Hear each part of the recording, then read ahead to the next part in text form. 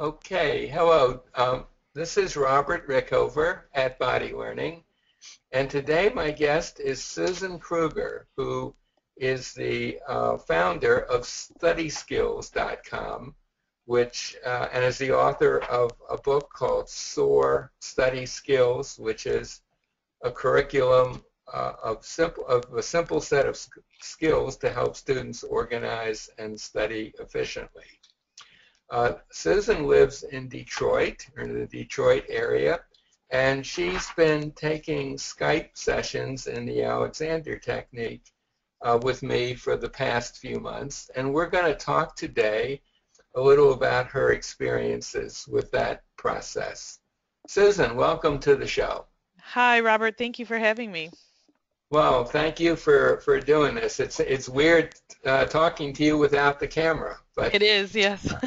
Um, so before we begin, uh, if someone were to uh, corner you in an elevator or at a dinner party or something, you just had a 20 seconds or so to answer their question, what is this Alexander tech thing, technique thing that you're you're doing? What would your answer be? Yeah, I had to think about this a little bit, but I ultimately I think it's about discovering how your body is naturally designed to move and function and that's yeah as mm-hmm. as simple as it gets. that that's that's excellent. And what is it that uh, brought you to the point of um, arranging Skype sessions? Well, it was a combination of factors, but um, Jeremy Chance is a friend of mine through an entrepreneur group, and he is so passionate about the Alexander technique and what it can do for people. And so and I could really resonate with his passion because I feel just as passionate myself about Montessori education. And so um, that's just something that piqued my curiosity. And then another mutual friend of ours, who I believe you've interviewed before, um, yes. Brian Brian Todd, he um, he's had great success with sessions with you and I just knew it was something I needed to check out. So um, that's what prompted me to to give you a ring and and start working with you. And did you have specific issues that were of concern to you that you uh, hoped the, the technique would help with? Yeah, I did. I've had recurring neck and shoulder tension for more than 20 years. Um, pretty severe neck and shoulder tension. And then I've also had um, some hip pain that has come and gone over the years, but that's another thing I've been dealing with for the better part of 20 years. I was diagnosed with rheumatoid arthritis and lupus when I was 19, mm-hmm. and um, and it was because of several of the symptoms I mentioned and a few other things that led to the diagnosis. So I've always viewed those symptoms as you know sort of the aftermath of of um, being rather sick actually when I was 19. So. Mm-hmm. So you you started Skype sessions. I think it was about two or three months ago. Mm-hmm. Um, when did you start to notice any any changes in yourself? You know, the changes came. On one hand, they came so fast. On the other hand, it was so subtle that. Right. Um, but it just was a matter of over time realizing, you know, my neck and shoulders don't feel so tight. And um, it, what it is, I think, when you start to to achieve a new sense of normal, you kind of forget how miserable you were. Um, and it, it was very subtle, but it didn't take long before I just started to recognize that I could very easily release the the tension in my neck and shoulders and that's something that I have done. I've done occupational therapy on. I've done physical therapy for. I've done biofeedback, and here, none of that did what just a few freedom uh, freedom techniques have done for me. Or freedom freedom, freedom directions. directions. Yes. Yeah. Mm-hmm. So a, a, lot of people w- assume that the I think the conventional wisdom is that the Alexander technique really needs to be taught in person.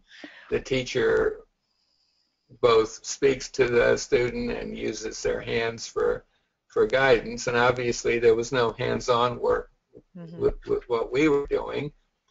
Did that seem to you to be a problem in terms of learning ways of changing your own uh, patterns of posture and movement? That did not seem to be a problem. Of course, I have nothing to compare it to, but what I That's what I right, can yeah. compare is that um, that my pain is virtually gone. So it seemed like it was pretty effective without needing to do any hands-on work. Yeah, yeah.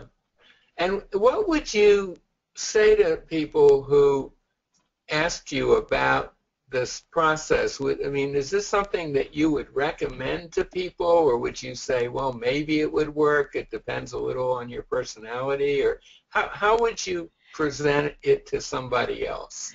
Well, I can't imagine anyone not getting something from it. I think it could be beneficial to everyone, and and certainly I understand the passion, as I mentioned, my friend Jeremy at the beginning, and and how his passion is what really piqued my curiosity. I see why because the implications of of what the Alexander technique can can do for people are just uh, overwhelming, really, in a very positive way. So um, the only thing I see is that you have to believe that it's as simple as it is.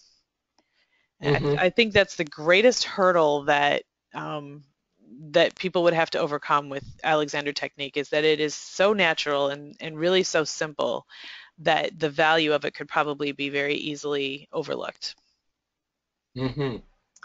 And I know I know that we have talked a little about uh, Montessori education. That was something that, as you said, you're you're very passionate about. Mm-hmm. Is there anything that you can say about connections between Montessori principles and the Alexander technique that might be helpful for our listeners? Well, sure. And I think Montessori in general is, is somewhat misunderstood, at least in the United States. There's a lot of misconceptions. But in the very essence of Montessori education is about essentially trusting the learner, that the child, really at any age, um, they know what they need to learn. And so Montessori is about following their lead and providing experiences to the child at, at the time that they're ready and interested versus our American approach to education is taking the child and shoving them through a whole bunch of content regardless of what their interests are or their developmental level might be. Um, so the whole the whole approach to Montessori is very natural. It's it's you know let's follow the child because they're the best lead for what the child needs to learn and what they're going to be most successful at learning at this point in time. And that's essentially what Alexander technique is, is it's about just learning how your body is designed and what you can do, the very simple um, things you can do to allow your body to function the way it was designed to function and becoming mm-hmm. aware of the obstacles we put in, in the way. Yeah, and I, I wonder, I'm just th- thinking off the top of my head here, but using an Alexander direction uh, doesn't really um, um, doesn't specify in detail what's going to happen with the use of that direction. Mm-mm. That's going to be very much dependent on where the student is right at that moment and, and so on. So I could see a certain resonance that way as well. Yes, absolutely. And you've I can't remember how you phrased it, but you said things on several occasions that are really anti micromanaging. Uh-huh, um, right. And yeah. and that is that's a premise I really resonate with is because um, the more the more effective we are at not micromanaging our bodies in the in the directions we give or or the little nuances that we stress about, the more we can step away from all that, the more we free ourselves up to to just function the way we're designed to function. And that's the same thing for education. The more we can remove all of the obstacles and the more we can uh, back away, the adults can back away and let the students be who they were created to be, the more successful they are. You know, the founder of um, Amazon, Jeff Bezos, is an, a Montessori graduate. The um, founders of Google are both Montessori graduates, and they have publicly talked about how they credit their success with Google to their preschool education in Montessori. And all of that came from they had the space to take an idea and explore it and to be comfortable doing that.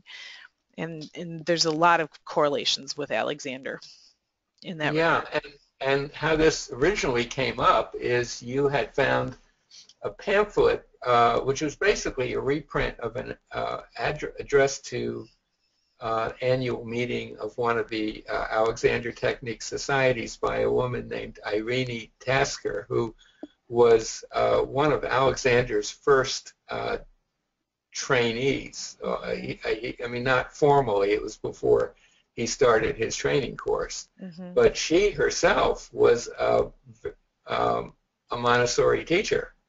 Yes, I found that pamphlet so fascinating because I believe, she, from what I know, she's one of two people who studied directly under Alexander and also studied directly under Maria Montessori. And another thing I find fascinating about her is that she also spent a lot of time, at least a couple of weeks, traveling with John Dewey. Mm-hmm. And uh, in my mind, Dewey and Montessori are are fundamentally opposed on a on a very major issue, but nonetheless, those were you know three influential people of her time, and and so she was speaking from a place where she had worked directly with all three of them, and and I just really found that fascinating, and, and what she had to say about that fascinating. Mm-hmm. Um, Susan, is is there anything else you would like to add before we come to a close?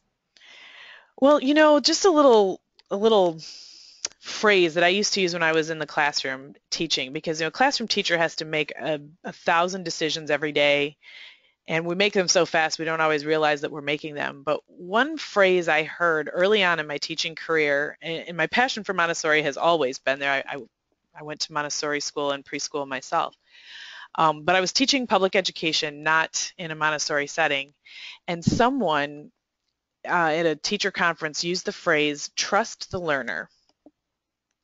Uh-huh. And I found in making those hundreds of decisions throughout the day for my students, over and over and over again, I kept, I kept coming back to trust the learner. That was the most important directional, you know, guideline I had as far as, you know, how to run my classroom and I really feel like that applies to Alexander technique, but it's more of a personal message for each of us. It's just trust yourself and and be um, open to how simple it can be to readjust a lot of things in your life.